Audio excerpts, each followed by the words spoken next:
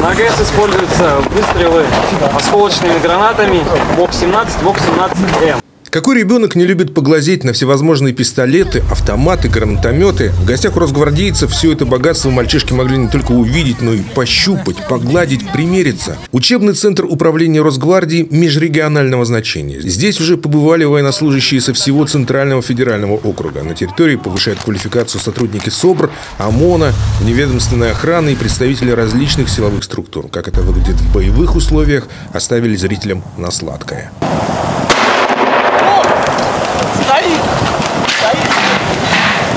Именно здесь оттачивают до автоматизма все антитеррористические методики. И как правильно входить в дом, и как правильно наблюдать за ним, но и вести бой, если потребуется.